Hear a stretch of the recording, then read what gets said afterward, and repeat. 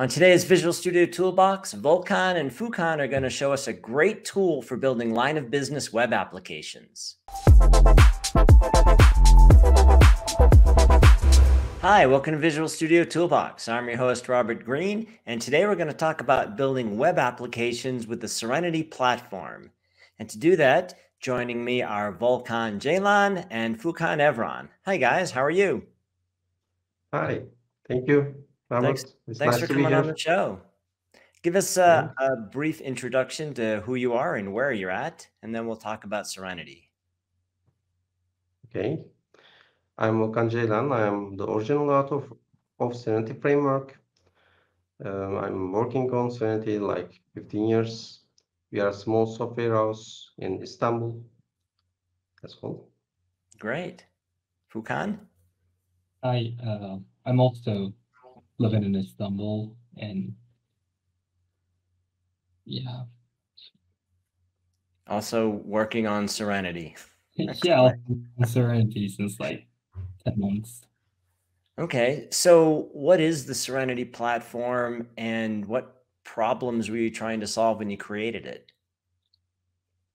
Serenity platform is a framework for data-centric business applications. In the past, uh, we were working with some CMS uh, with many listing screens, forms, search, and reports, and so on. And we noticed that we were spending uh, more than maybe 90% of our time on maintaining, creating, and maintaining such screens. Mm -hmm. So this gave us the idea of creating Serenity framework to solve these issues. And you when was it originally created and what version are you on uh, now? It started around 2007. Okay. But uh, it became an open source framework in 2013. Okay. And is it it's aimed at ASP.NET and ASP.NET Core in particular? Uh, it started as an ASP.NET Web Forms mm -hmm. platform, and we switched to ASP.NET MVC, and now we are using ASP.NET Core. Excellent. All right. So I'd love to see it. Show it to me. Okay. Uh, I'll start with some introduction to Serenity, short introduction, then Furkan will do a demonstration. Great. Okay, this is the information that we already shared. And Serenity, as we said, is the right tool for data-centric line of business applications with many forms, pages, and reports.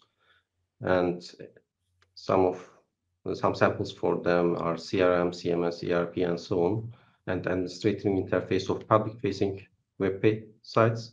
We are not a front-end framework. You can use any front-end framework like React, Vue, Angular you like for the front-end part of your site.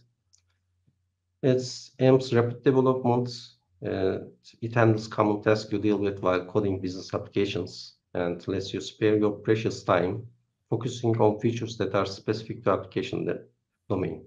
So it handles validation, permissions, forms, and layout, and similar things. And uh, we get feedback from our users that it reduces development time from months to weeks, even days. Right. So it handles a lot of the plumbing and the usual stuff that's in every single application, right? Yeah, yeah, that's right. And it has a code generator, and it's, the rapid development starts there. This code generator analyzes your tables to extract information like data tables, nullability, foreign keys, and so on. And it generates some files like the entity, create, retrieve, update, delete, list handlers, request handlers, uh, and other classes like dialog and grid. And these generated files are not boilerplate code, and it contains minimum amount of code based on some Serenity classes. And Serenity uses declarative paradigm. Uh, entity class, everything starts with the entity class, which is which will be generated by the Sergen. Then we use attributes, annotations, behaviors, and reflection. So it allows us to reuse this information and cascade it from the entity to grid columns, form, services, and so on but we still provide the necessary hooks where required. So we don't hit the so-called declarative wall. Like mm -hmm. if there's some function that we didn't think about, we still give you some methods that you can override and add your add the functionality need. And also Serenity uh, allows you to catch errors early because it trans translates some some types like entities, enumerations, editor types, and so on on the build from TypeScript to C Sharp and C Sharp to TypeScript. Mm -hmm. So you get IntelliSense support and compile time checking on development and build time, not the runtime. This was one of the issues that we were having on in the past, with especially with the JavaScript code because of no compile time checking, type checking. And Serenity, as I mentioned before, went through many changes because technologies for software development moves fast. And we never said our users to rewrite their applications. We gave them a clear upgrade path where possible or backward compatibility as much as possible. Mm -hmm. uh, Serene is our starter application template, which we are talking about today. It has about 600k installs and more than 100 five-star reviews. Impressive. Yeah, that's all. And I'll now leave the floor to Furkan for a demonstration. Great. Yep. Hello. Now I'm sharing my screen. I'll be creating a car reseller app using Serene template for this project. I already downloaded and installed Serene extension. Mm -hmm. If you also that, you can just search Serene on new projects window. I will name my project Serene Cars. Now Serene extension wizard is going to ask me if I want these features. I can just deselect them, but I will just leave them selected as they give more more samples to look at, more examples.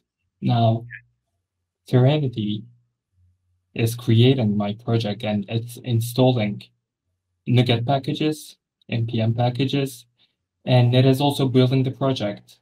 Let's wait a bit until it builds.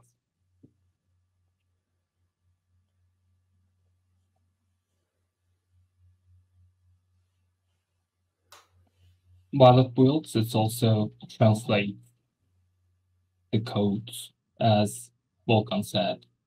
It is translating C-sharp code to TypeScript and TypeScript to C-sharp. Let's run our application and take your first look.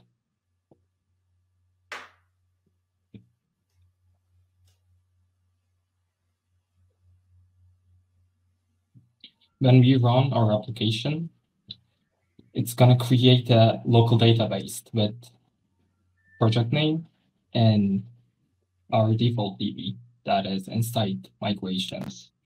We also use Fluent Migrator for migrations, but we will take a look at it.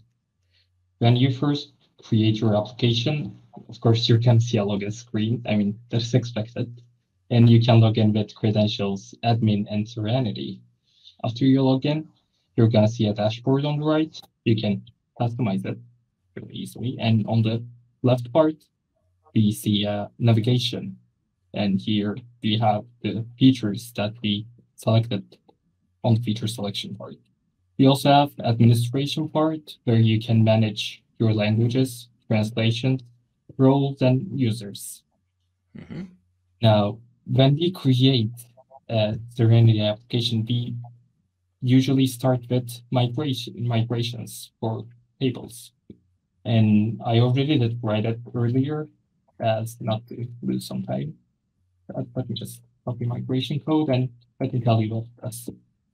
It just creates a schema named car, then creates two tables in it. And makes table has a make ID and its identity. It has a name and logo, and cars table has a car ID, of course, identity again, to write. And we have make ID, which is a foreign key pointing to makes table. We have all sorts of different details over here and two photo fields again. Now, after our applications ran, it created the tables.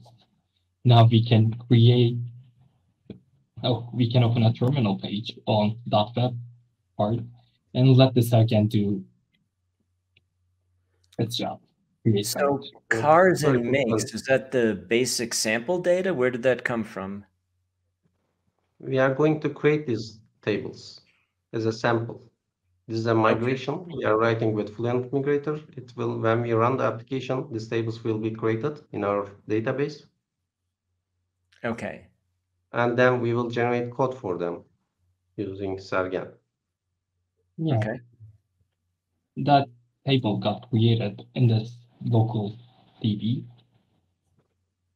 Now, Sergen gonna- automatically creates a database for your application in local DB, but you can, of course, move it to an, another database.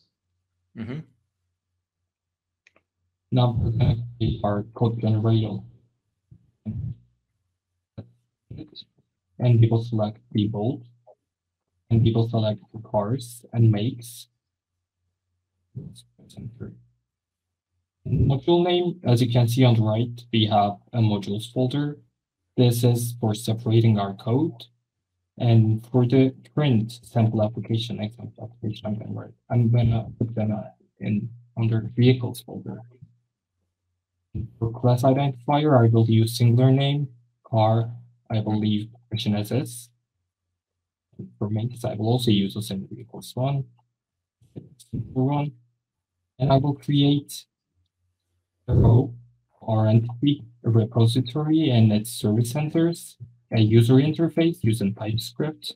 It also gets created in C sharp code and custom field. So I can also can create custom code it is extendable, but as we don't have any right now, it's not going to do anything, but let's keep it selected anyways. Now we got a vehicles folder with car and make. And hmm as you can, there is handlers. Let's run our application again and see how it looks after we just generate our code. Wait, let's log in. And on the navigation bar, you see a new vehicle selection. On there, you can see a make. But right now, this logo is a string field, but we want to upload a file over there. And we don't want to see this logo on the grid. And on the cars, it is the same thing. Everything is a string field or an integer field. And we don't want to see these photos over here too. So we're going to change that really easily. Let's go back to code. And first, let's go to make row. This is our main entity, by the way. We can just go to property of logo and write image upload editor. And the column says where grids get populated. If there's a property on the row that's here, it's gonna automatically create a column for that thing. Let's run our application and take a look at this logo field and the logo field on the grid that we deleted. And I'll get our application. Like, as you can see, the logo part is gone. hmm We can create a file and it automatically handles temporary file upload and deleting that temporary file and moving that image to a to its supposed place with their ID and random file name. Okay. That is easy. And now let's do some heavy lifting on the car on the car dialog. Actually, let make this a dialog. So it is it takes the whole page. We can go to our dialog and we can say. So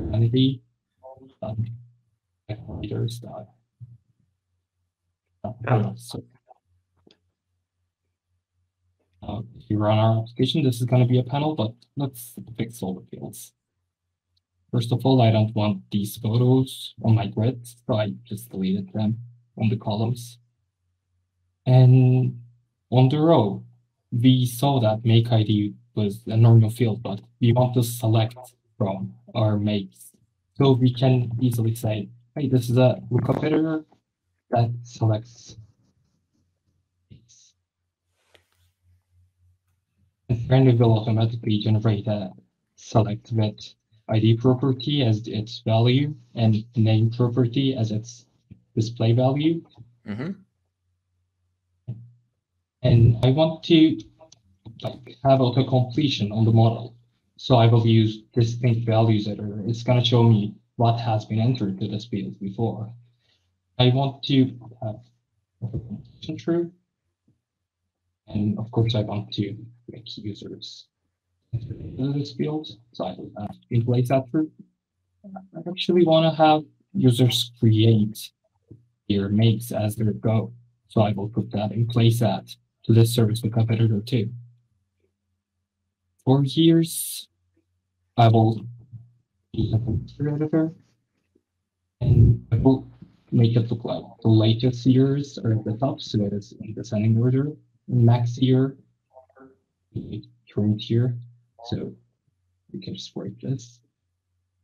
Minimum year, I I want to see latest 30 years. So I just do I just the over here. Hmm. Yeah, for fuel types and transmission types, we're gonna use two enums. I mean that right them they're pretty basic, so let me just copy it here. Uh, fuel type is an enum with petrol, diesel, hybrid, and electric. And transmission type is just manual, automatic, and hybrid. So now we're gonna do, we're gonna select these two fields, and we're gonna switch them here, you know, and we're gonna go to their field declar- declarations, and we're gonna change these two to no build. Now, you know, will be used everywhere on the dialog, on the filters, which I'm gonna show near the end. And for main photo, we already did this. We're gonna put an image upload editor, and for multiple photos on additional photos, we're gonna use a multiple image. Upload. Yeah, let's create it.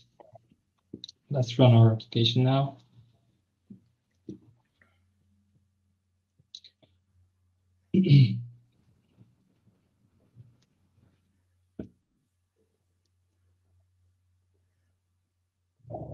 After sign in, we're gonna go to the car page. And yeah, we can see the makes that we created. Let's also like this and create a new one. Create BMW. Now we can select one of these. Great. Create BMW one. For model, we're gonna 320i. For year, we're gonna put 250. Fuel type, petrol, transmission, hybrid. And usually you cannot start with negative values. If you wanna, you can add an integrator with although negatives true. And we're gonna add a main photo for this car. Let's select this one. This one the other one, add additional ones. And let's just save this. And now we can select all of the data is here. But I also wanna see this like BMW 320i side by side. No, that's separated. So right now we can do, we can go back to the row and we can declare a new property. We're gonna use explore, uh, SQL expression. to Concat their values. I'm gonna name this display name. Here.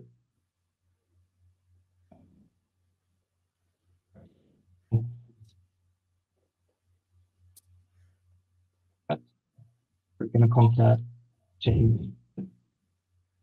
That is our make row that is get joined to this row by using JMake. And we're gonna start with our name. And we're gonna concat as space. And we're gonna concat current rows. T zero means current row, current rows, one. And we can create our string field named display name. Can you check the parentheses? Yeah. Now if we want to see this, we can go ahead to make column, uh, sorry, card columns and create a new column named display name. It's visible. Check it out now. Upper build going to refresh.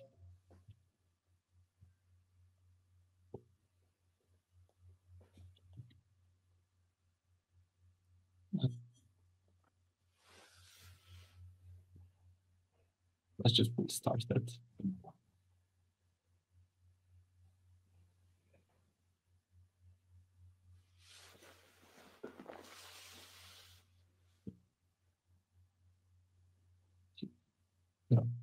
When we open our card page, we're gonna see a display. Very nice. Mhm. Yeah, let, now let's add some quick filters. And by quick, I mean quick for real. So I'm gonna hide this, uh, hide this make name as it's kind of useless now. We already have this data. But hidden. But I still wanna put filters on this. I wanna filter it with make name. So we can just, we, we can hide it and hide it and right next to it. I can have quick filters in this two emails too, so I can just say over here and quick filter over here too. Uh, right on this, you're gonna see there's three new filters on top of the grid that has all the data, all the filters that we have. Let's wait for the application.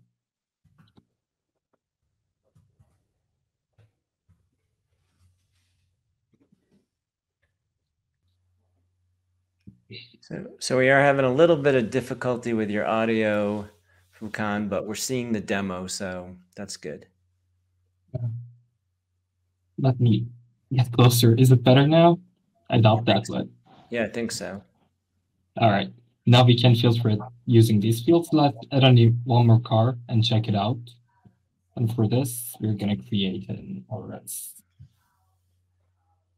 RS. Forgot. I'm sorry, people who really like cars, but I don't think this is the correct model name. Please forgive me. That's just what it is. Field type. And Just make it hybrid and hybrid again.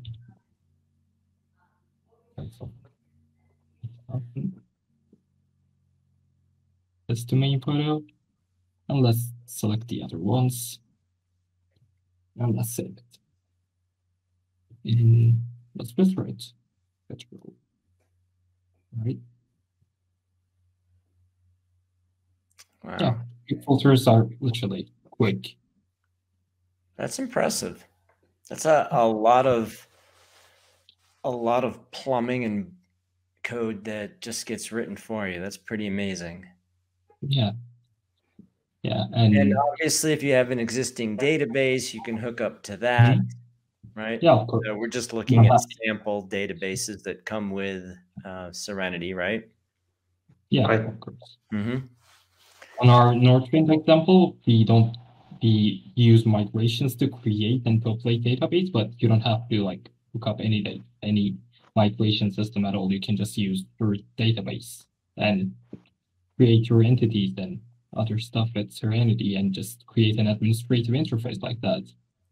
And so to start using this, people just go get the extension, which they can find on the Visual Studio Marketplace. They can search for it Yes. inside Visual Studio, Mhm. right? And then everything you've just done, they can start doing, right?